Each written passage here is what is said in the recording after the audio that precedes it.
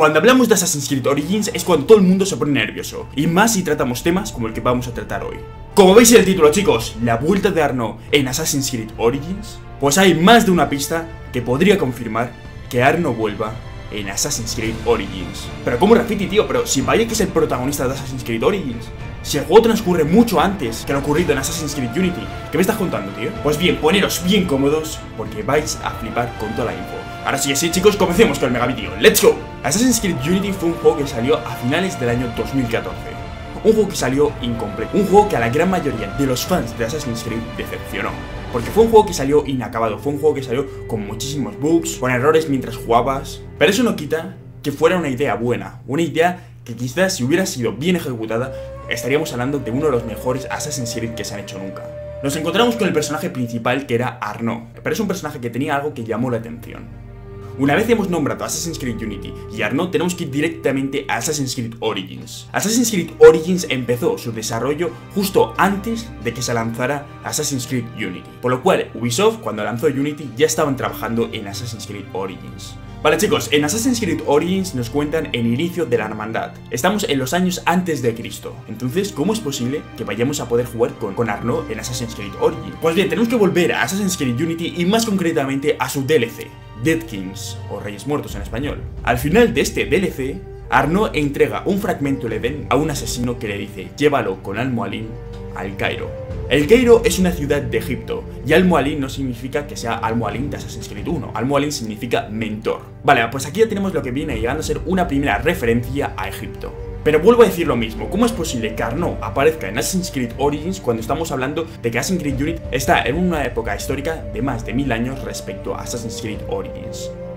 Pues bien chicos, en Assassin's Creed Origins vamos a tener una especie de misiones que son momentos exóticos, que es lo que yo pienso que va a hacer referencia, por ejemplo, a lo de la serpiente gigante que vimos en el tráiler. Pero bien, yo mantengo mi postura frente a lo que he dicho varias veces en el canal. Yo pienso que vamos a ver otros momentos de la historia en Assassin's Creed Origins, y me atrevería a decir que incluso con otros personajes, más o menos como pasó con Syndicate que vimos a Lydia Fry durante el periodo de la Primera Guerra Mundial. Pues bien, yo pienso que va a pasar exactamente lo mismo con Assassin's Creed Origins. Pero no me baso en esta única pista, no supuesto que no. A esa pista hay que sumarle un comentario que hizo el actor que da vida a Arno. Le preguntaron si podía confirmar si iba a aparecer en el nuevo Assassin's Creed Origins y hace una mención como a metahistorias, que es lo que os he comentado como pasó en Syndicate con Lydia Fry. Y el actor que da vida a Arno dijo, no puedo ni confirmarlo ni negarlo. Al ver esto ya lo primero que se te viene a la cabeza es decir, joder, cuidado que puede que esté trabajando en el proyecto. Pero claro, también puede ser que no confirme ni niegue nada porque no sepa nada de Assassin's Creed desde que dejó Unity. Pero a esto chicos hay que sumarle una cosa más y es que